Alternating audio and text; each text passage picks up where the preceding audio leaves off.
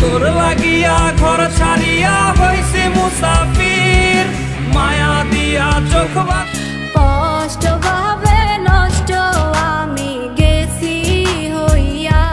Hello বন্ধুরা, সবাই কেমন আছেন?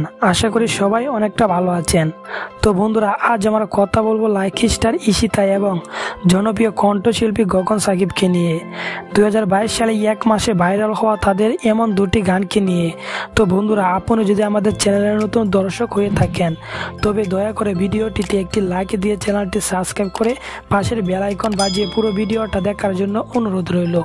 তো চলুন বন্ধুরা, আর দেরি না করে ভিডিও শুরু করা যাক। বন্ধুরা, আমাদের প্রথম তালিকায় রয়েছে সবার জনপ্রিয় কণ্ঠশিল্পী গগন সাকিব। বন্ধুরা, গগন সাকিব ভাই মূলত বীর গান থেকে সংগীত শিল্পী হয়ে উঠলেন। তিনি সবসময় স্যাড সন করে থাকে এবং সোশ্যাল মিডিয়ায় স্যাড সনগুলো বেশি ভাইরাল হয়ে থাকে। আর গগন সাকিব ভাইরাল হওয়ার পিছনে তার অনেক কষ্টের কাহিনী রয়েছে, যে কারণে তিনি একটি সাধারণ ছেলে থেকে সেলিব্রিটি হয়ে উঠেছেন। যাই হোক বন্ধুরা, আমি পুরনো কথায় না যাব।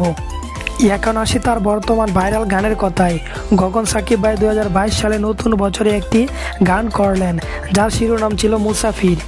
লাগিয়া ঘর ছাড়িয়া হইছে মুসাফির মায়া দিয়া চোখ মুসাফির গানটা অসাধারণ কণ্ঠ দিয়েছিল যে কারণে অতি দ্রুতই এক মিলিয়ন ক্রস করেছিল। বর্তমানে গানটিতে one point three million view রয়েছে এবং লাইক পড়েছে তেইশ হাজার।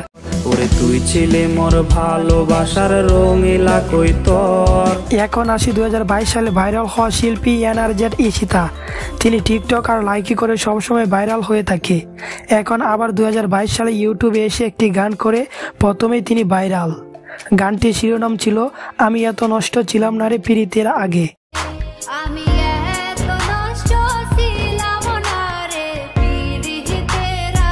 এই গানটি করে মাত্র পাঁচ দিনই এক মিলিয়ন ক্রস করেছিল। যাই হোক এনার্জেট তাই এখন আবার একটি গান করল। আমি এত নষ্ট ছিলাম না রে পীড়িতের আগে টু। কষ্ট নষ্ট আমি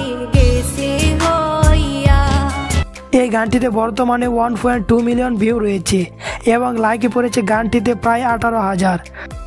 তো বন্ধুরা, এই দুই শিল্পীর মাঝে আপনি কার গান বেশি শুনেন এবং আপনার কাছে কে সেরা ও কে বেস্ট তা কমেন্ট করে জানিয়ে দেন।